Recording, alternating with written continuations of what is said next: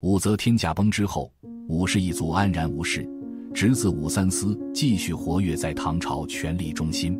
吕雉去世后呢，吕氏一族却被斩杀殆尽。那武则天都做了什么呢？让武家逃过灭族之劫，吕雉又走错了哪几步，使得吕家被刘汉皇室彻底清算？带着这些疑问，一起来看看吧。武则天都已经是七十多岁了，还没有决定好立谁为太子，朝中大臣可急坏了。别看他表面冷静，其实非常着急。这要是在他驾崩之前还没有处理好，岂不落得和西汉吕后一样的下场？李唐皇室和武氏一族少不了一场厮杀。为了避免这种情况发生，武则天正想办法平衡李武两家，一边是自己的儿子，一边是自己的亲侄子，这让武则天非常为难。如果再立李显为太子，那自己辛苦坐上的皇位不就又还给李唐了？一想到这里，武则天就有点不甘心了。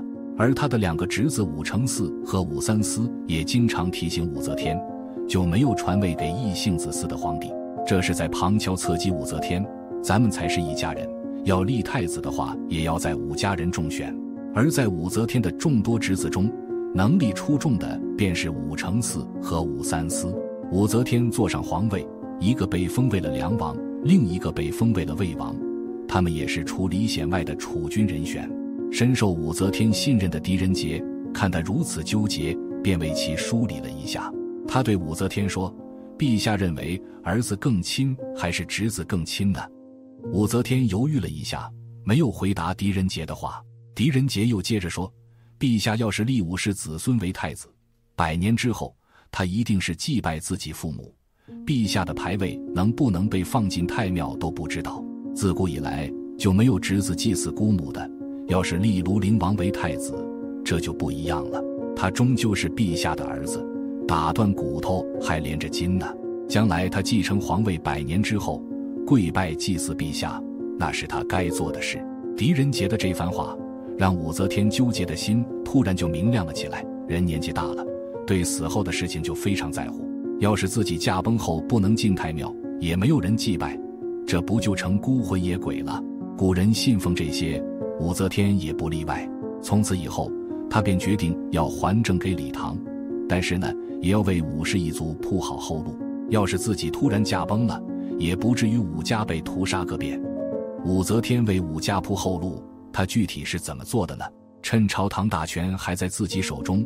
武则天想将李家和武家的利益捆绑在一起，最好的办法便是联姻。她就把最疼爱的太平公主嫁到了武家。公主的丈夫是武攸暨，李显的女儿永泰郡主嫁给了武则天的侄孙武延基。只要两家年龄合适的男女都被武则天撮合到了一起，这样一来，武家和李家很难再分你的我的，想要清算都算不清楚。都这样做了，武则天还是不放心。他又将儿子、女儿和侄子聚集在一起，看着他们对天对地发誓：李家和武家不能互相残杀，他驾崩后也要和睦相处。如果违背誓言，定遭天打雷劈。随后，武则天命人制定了一张铁卷，将誓言刻在了上面，以此作为证据。一系列操作完成后，武则天终于安心了。此后，她还是掌控着朝堂大权，一直到八十二岁高龄。虽然身体是一天不如一天，可还是没有传位的打算。那些效忠李唐的大臣已经没有耐心等他让位了，他们联合在一起，暗中密谋，想要逼迫武则天还政李唐。这群大臣找到了太子李显，鼓动他一起发动政变。经过一番思想斗争后，他还是参与到了其中。宰相张柬之为首，他们找了一个合适的时间，带着太子闯进了皇宫。先将武则天的两个男宠斩杀了，然后一行人冲进武则天的寝宫，逼她把皇位传给李显。武则天无可奈何，知道已无力回天，便答应皇位给李唐。第二天呢，他就下了一道圣旨，让李显坐上了皇位。他退下皇位后，被软禁在上阳宫。人本就年老了，如今又失去了权力，心中的郁闷难以疏解。李显登基后也会探望武则天，毕竟是自己的母亲。看到加速衰老的母亲，李显不禁提出疑问：才十多天而已，母亲怎么变得无精打采？武则天听儿子这么说，马上反应过来，眼泪那是说来就来呀。她哭着对儿子李显说：“儿啊，我原本就是要把天下交给你的。发动政变的那些大臣，就是贪求功劳，才将我害成如今这副模样。”武则天趁李显探望她的机会说了这番话，其中包含了两层意思。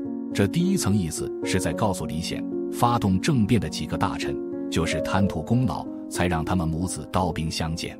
这种做法让他背上了不忠不义的骂名，言下之意就是在告诉李显，这些大臣中有居心叵测之人，日后一定要谨慎。还有一层意思，就是用母子亲情打动李显，就算不带人逼宫，这皇位也是要还给李家的。你我是母子，母亲的东西终究是要留给儿子的，我身后的武家要好好照顾。武则天简单的几句话对李显有作用吗？武则天做事从不失手。李显听完母亲的一番话，突然就跪倒在武则天面前，还哭着说自己错了，还承诺武则天今后一定会照顾好武氏一族。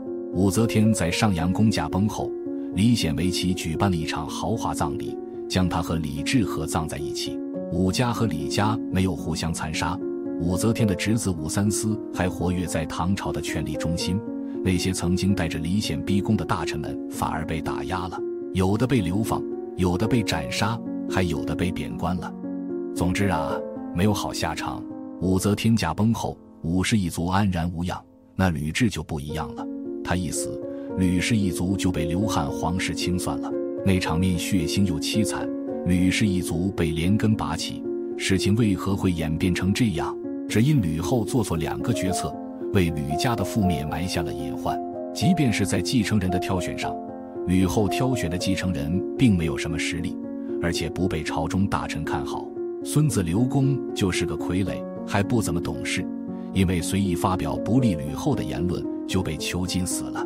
后来吕后培养的继承人也得不到大臣的拥护，吕后去世后就被朝臣给废了。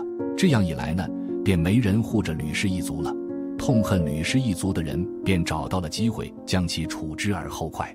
武则天就不一样了。李显虽然懦弱，但他是武则天的亲生儿子，他又是朝中大臣扶持上去的，还答应武则天要照顾武氏一族。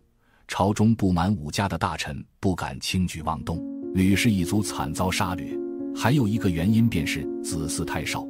不光是刘汉皇室，吕氏一族也没什么能人。而且吕氏掌控朝政期间，斩杀了太多有能力的大臣，使得朝中也没有什么可用之人。吕后把军队交到两个侄子手中，去世之前呢，还反复叮嘱吕产和吕禄，一定把军队握死了，不然吕氏一族必遭大难。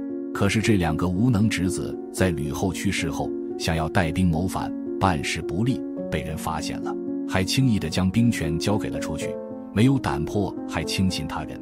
这样做的后果便是人头落地。吕后的这两个侄子死后，吕家就彻底败了，等着任人宰割。吕氏一族被周勃下令全部斩杀了。其实啊，吕氏一族的悲惨结局不能完全怪吕后，因为不可控因素实在是太多了。但是在能力上，吕后的确比不上武则天，能退能进也是武则天得以善终的原因，也使得武氏一族安然无恙。以史为镜。可以知兴替，以人为镜，可以明得失。点赞、评论、订阅，我们一起从历史中进步。